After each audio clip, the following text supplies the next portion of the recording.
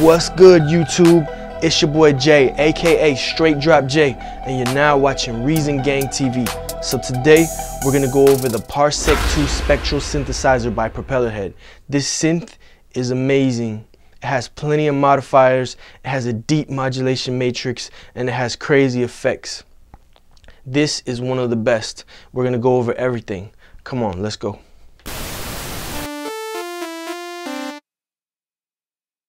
Saw Square Mix. So we start there.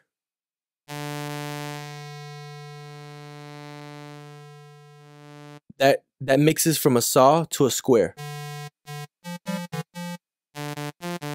Saw. All right. So we have we have all our our different uh, wave generators. Saw square pulse FM dual saw string. All of these are amazing synths. And uh, they even have wavetables, sync sine. Wavetables are just mini samples.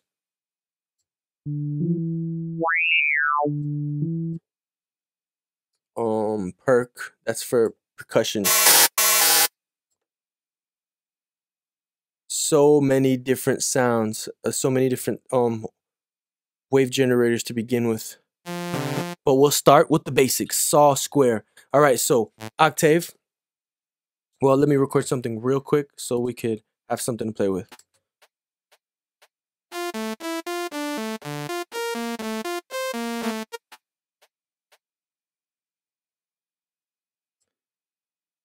Quantas.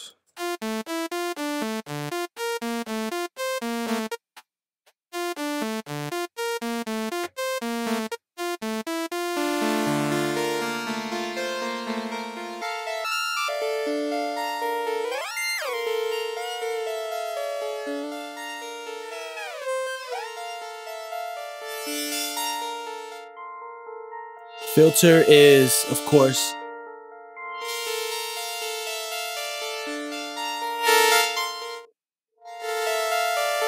a basic effect, however, it sounds really nice. Let me turn it down slightly. Okay, so this is the A engine. There's a B engine. We could layer it change to any sound, fade from the balance.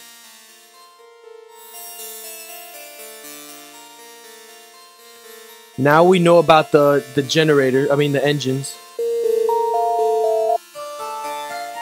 We could we could scale back from both of them. We can fade right here. And now we come to the fun part, the modifiers. We have filters, EQs, syncs, pulse width modifiers, which is sort of like gates. We have filters, ensembles, which thicken it up like a chorus. Well, it's more like a detune, like a unison. That's, to me, Parsec's trademark sound. I love it.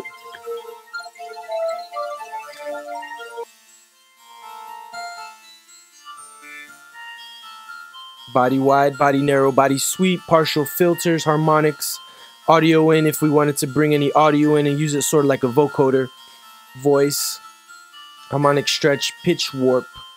All of these are really cool. The cool thing is four filter. The cool thing is all of these can be modified to move and that's with the modulation matrix. We're going to go over that today, but I just showed you a couple modifiers. X and Y axis always control left and right, up and down.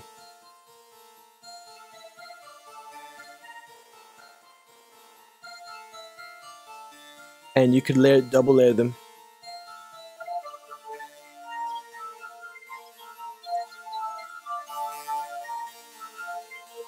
These two modifiers apply respectively to A engine These two modifiers apply respectively to the B engine.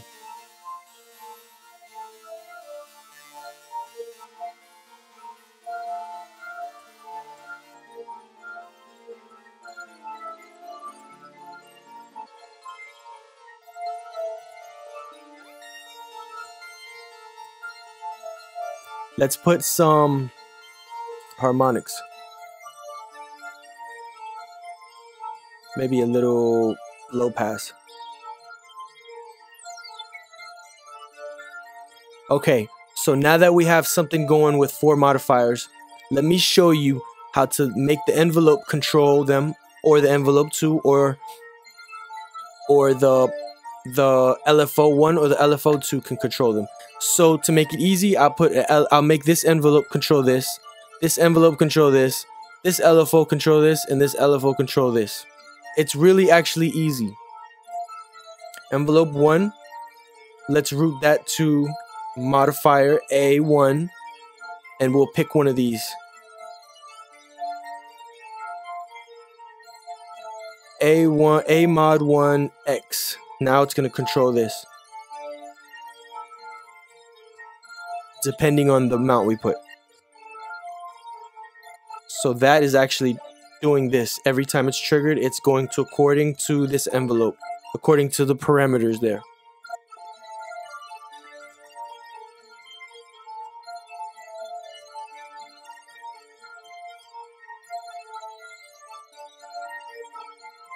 Okay, let's make this envelope 2 control the Y here.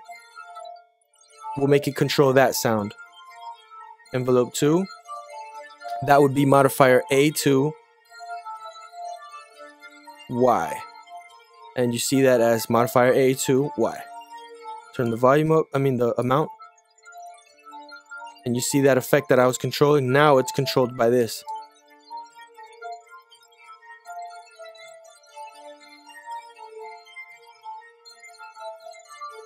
Now, those are envelopes. Those that's a ADSR curve. Basically, these parameters control an ADSR curve. Now, an LFO is similar to an envelope. However, it keeps repeating like like a motor. It keeps going over and over the revolutions. And instead of an ADSR curve, it is a waveform that it follows. So we could pick any waveform. Pick something weird like this. It looks like a random. And let's link the LFO1 to Let's link it to this. To X on modifier B1. Right here. Turn the amount up. Now this is controlling this. Now the rate is the speed. The delay will just delay it before it kicks in. We can scroll through these cool waveforms.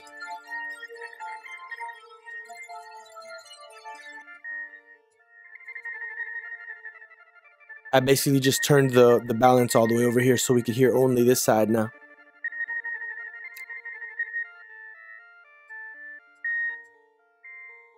It sounds pretty cool, like a nice bell.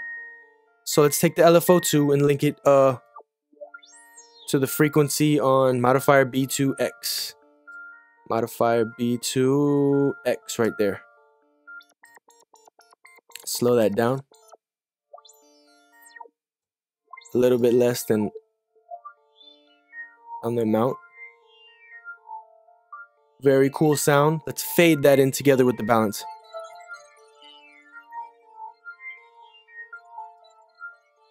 Okay, now we have everything going. We used everything so far. We could um tempo sync if we wanted. I don't think we need it in this case because it's just a random filter with a resonant peak. We could spread everything, all, spread just the highs, or spread just the AB. Now this is a stereo effect. Very high quality. It's, I think it's akin to the the Haas effect, which is delaying one side by very small milliseconds and creating a stereo effect. That's what all sounds like. That's just the highs. And then this is spreading A, A panning A left and B right. To me, all sounds the best. somewhere around the sweet spot. You don't want to go too much and be out of phase. Just nice and wide. Okay, now we have everything going. Let's, I feel like maybe we should automate this. So let's take this LFO2 and use that not only on to automate this X, but let's automate the balance. So let's make an instance of LFO2. Look for the balance. It's right here. Turn the amount up.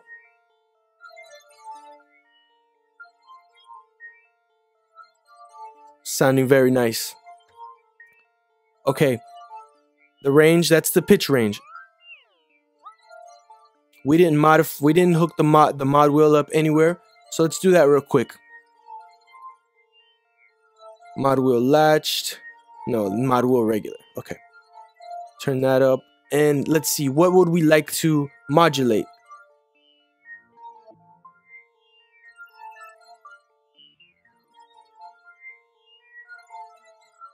Let's give it a little bit of drift. All right. So we'll put it on generator B. Pitch. A very small amount. And let's hear it drift. Give it that analog tape drift sound. We could put it less for a more subtle sound. Okay, we have everything routed. Now let's drop some effects, some reverb.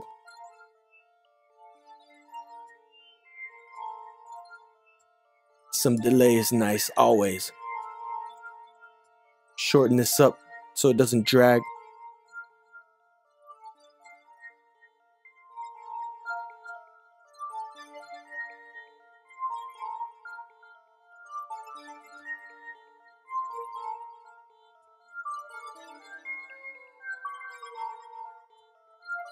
Now, one more thing we forgot to mention the portamento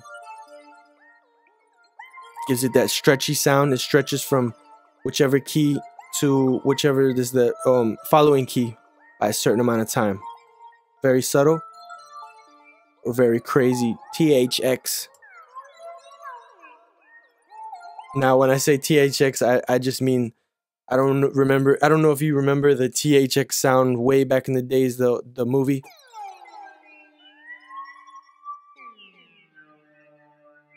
sounds similar.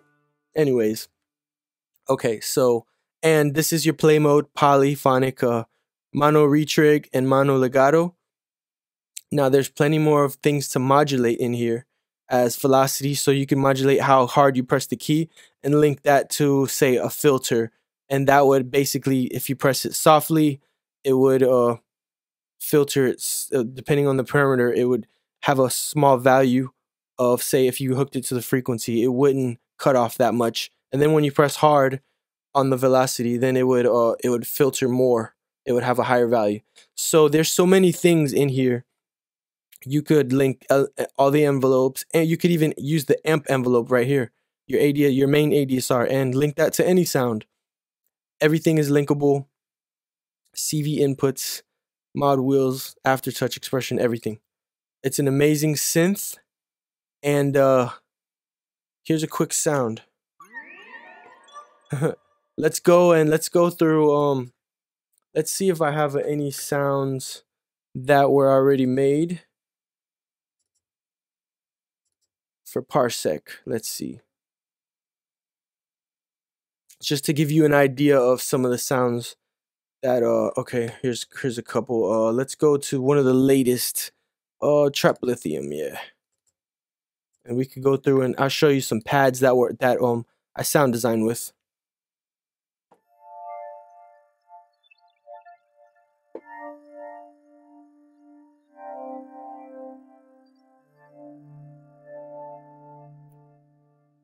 Cool pad. Here's a pluck.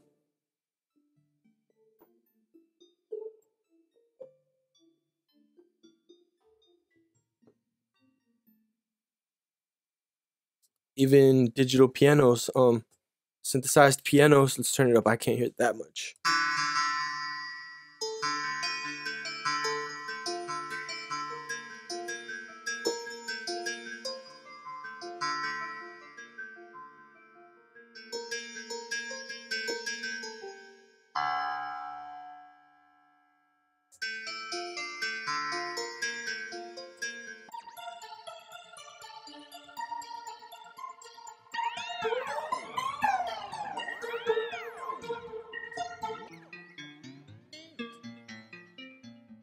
Uh, some polysynths. Uh, let's go filter curve. What's that?